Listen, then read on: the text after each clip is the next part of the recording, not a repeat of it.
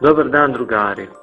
Ponovo smo na kanalu Vukuta Vuk i gledamo novu prezentaciju kroz koju ćemo naučiti geometrijske oblike, brojeve, slova. Naravno tu su i različite boje. Cilj igre je da otkrijemo fotografiju, odnosno sliku koja se krije iza ovih plavih kvadratića.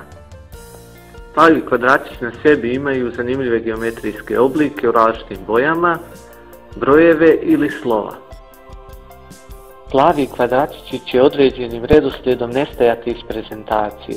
Cilj je da što prije utvrdite šta je sakriveno i da pokušate da opišete kvadratić nakon koga ste shvatili o čemu se radi.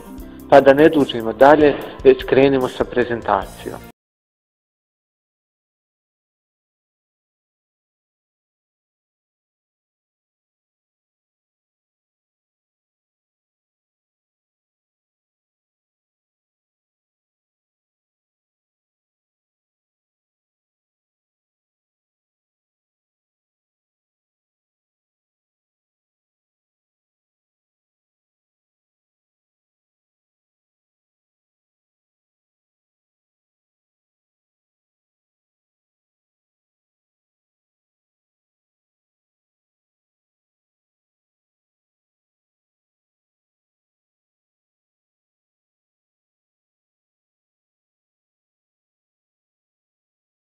Trougao.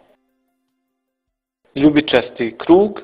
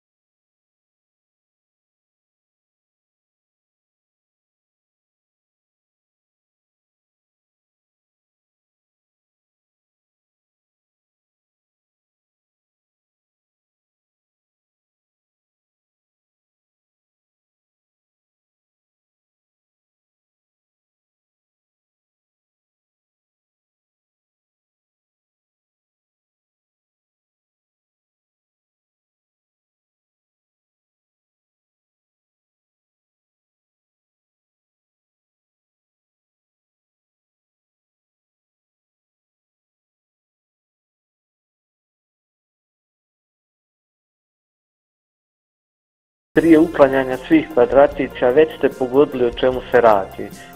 Ne zaboravite ostaviti komentar, pogledajte sljedeću prezentaciju iz ove oblasti ili neku drugu prezentaciju sa kanala Vukota Vuk. Pozdrav!